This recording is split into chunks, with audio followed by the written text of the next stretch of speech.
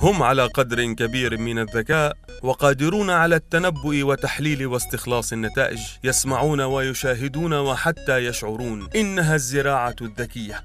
فريق أوكراني اخترع مثل هذه التقنية والتي لم يستخدمها أحد في السوق الزراعية من قبل كيفية زراعة الخضروات دون مغادرة المنزل. التقنيات الحديثة وعمليات الأتمتة والحصادات الآلية كلها لم تعد بدعة. والطرق التقليدية لم تعد تناسب العصر. المستهلك يتطلب أنظمة تلائم احتياجاته وفي ذات الوقت تكون سهلة الاستخدام. القطاع الزراعي لم يكن يحظى باهتمام التقنيين والمبرمجين لكن فريقا من المخترعين الأوكرانيين أثبت أن أتمتة القطاع الزراعي ممكنة جدا.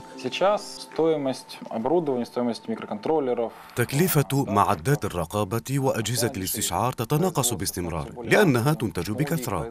المنتجون يتبنون أحدث التقنيات والأجهزة الإلكترونية أصبحت أكثر كفاءة في مجال استخدام الطاقة وأرخص وأقل حجما. هذه الأنظمة تساعد على تطوير المشاريع الزراعية الكبيرة والصغيرة، فبفضل أجهزة الاستشعار تستطيع التحكم بكل شيء من مكتبك أو منزلك، بل وعلى بعد آلاف الكيلومترات. هذه الليلة لم تكن هناك ثلوج. وفي بضع ساعات لاحقة غطت الثلوج كل شيء وانخفضت درجة الحرارة بشكل ملحوظ. لذلك نحتاج إلى خدمة التكييف الداخلي حتى نتمكن من التحكم في درجة الحرارة. وحينها لن تتأثر بالعوامل الخارجية. وتبقى درجة الحرارة الداخلية مثالية لنمو النباتات. ومن المهم جدا مراقبة هذه العمليات أي ما يحدث في البيوت البلاستيكية. что происходит в, в нашей теплице. هنا يأتي دور الفريق الأوكراني المخترع فإنه حتى لو ارتفعت أو انخفضت درجات الحرارة درجة واحدة فإن النظام يستشعر كل هذه التغييرات أو إذا كانت التربة في البيوت البلاستيكية جافة لا يهم فكل شيء تحت السيطرة وعلاوة على ذلك فالنظام يستطيع تغيير الوضع إما برفع درجة الحرارة إلى وضعه الطبيعي أو البدء بعملية السقاية على الرغم من حقيقة أن وحدات التحكم وأجهزة الاستشعار رخيصة جدا. هي في حدود عشرات أو مئات من الدولارات. فإن تكاليف تطوير البرمجيات والتواصل والعمل بها عبر الإنترنت يمكن أن تصل إلى عشرات الآلاف من الدولارات. يبدو أنه من الضروري استثمار الكثير من المال في هذه التقنية واستئجار فريق من المتخصصين في تكنولوجيا المعلومات الذين يجلسون أمام شاشات الحاسوب باستمرار لمراقبة الأداء. ولكن الأمر أسهل بكثير.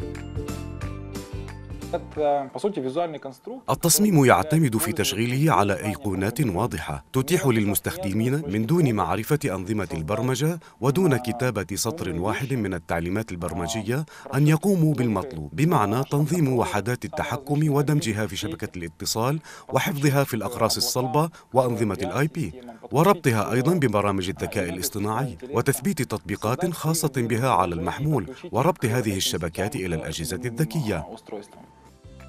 المطورون يؤكدون سهولة استخدام هذه التطبيقات حتى لطلاب المدارس ويمكنهم من خلالها التحكم بالإضاءة أو ري الورود المزروعة في الفصل. هذا البرنامج ضروري أيضا للمستخدمين العاديين. على سبيل المثال يمكن لربات البيوت استخدام وبرمجة هذه التطبيقات بما يلائم الوظائف المنزلية.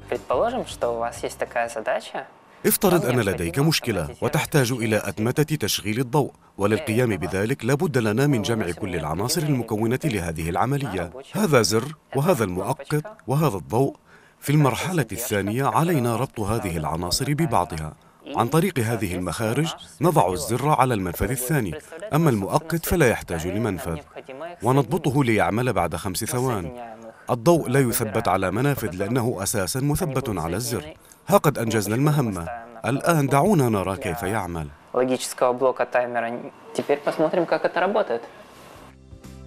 مع هذا البرنامج من السهل جدا أن تنشئ نظاما ذكيا من الصفر إذا أردت تغيير مهمة النظام أو رغبت في إعادة توظيفه مرة أخرى فليس هناك حاجة لاستدعاء خبير برامج تحتاج فقط لتغيير مهمة التطبيق ما يعني إضافة أو حذف رموز في مخططه والبرنامج سيعيد ضبط المهام الجديدة بنفسه специалист, инженер إذا ما استدعينا خبراء ومهندسين بهدف تعديل مهام البرامج فهذا يعني هدر الوقت والمال. وحتى لو كنا نتحدث عن خيار أرخص فإنك ستحتاج إلى نقل وحدات التحكم الإلكترونية إلى مركز الخدمة.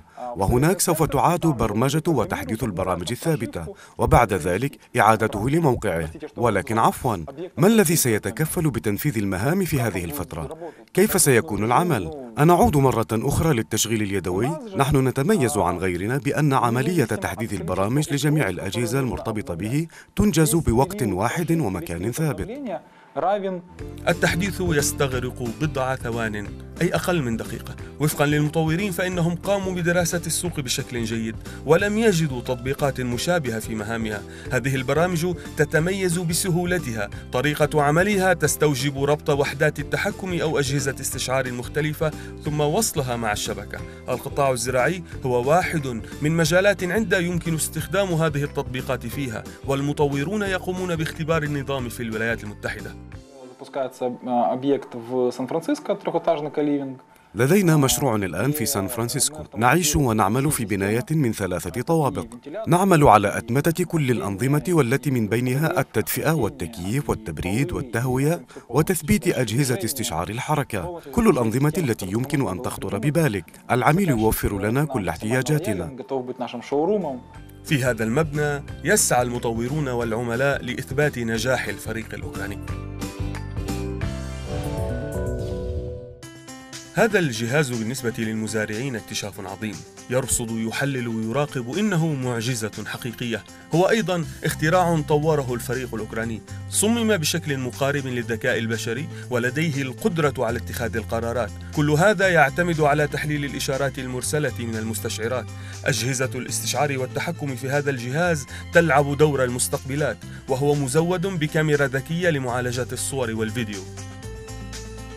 Эта вот технология применяется точно так, так же, когда вот هذه вот التقنية в- مماثلة в لتلك школах, المستخدمة дорожных لمستشعرات знаков, الحركة ситуация, أو вот إشارات эта, المرور а, أدخلناها часть على той قطاع самой технологии, الأغذية ليس من السهل في الواقع تطبيق مثل هذا النظام في المجالات المختلفة. تستطيع هذه الأجهزة الذكية القيام بمهامها معتمدة بالأساس على المطورين، وفي هذه الحالة المطورون يبذلون جهدا كبيرا. إنها مثل طفل صغير يمكنك تعليمها لتقول هذه تفاحة مثلا والنظام يعرف أنها تفاحة إنها حقا عملية طويلة وطويلة جدا لأنه من الضروري للنظام تحليل حوالي مليون صورة. نتيجة لهذا التدريب الشاق والدقيق توصل المطورون لاختراع نظام الرؤية كاي والذي يطبق فقط على المواد الغذائية والمحاصيل الزراعية لا سيما الخضروات والفواكه.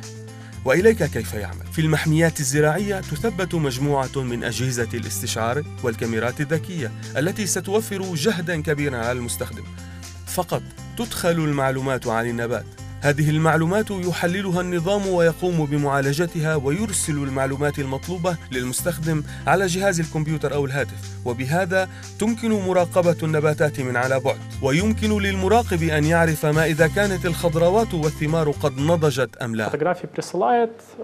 ترسل الصور من الكاميرا إلى الخادم ومنه إلى واجهة التطبيق على الهاتف المحمول. لتبسيط الأمر أنا الآن سأصور من الهاتف المحمول وسوف نرى ما سيخبرنا النظام به.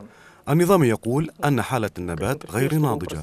أخضر ونحن نرى هذا والنظام يؤكده. وفي هذه الحالة يجب علينا اختيار النظام الأكثر ملائمة للمزارعين. يقول الخبراء أن المخترعين الأوكرانيين يجنون الأرباح من عملهم في قطاع الزراعة. وقبل ذلك لم يكن هذا القطاع ضمن اهتمامات المبرمجين والمتخصصين في تقنية المعلومات.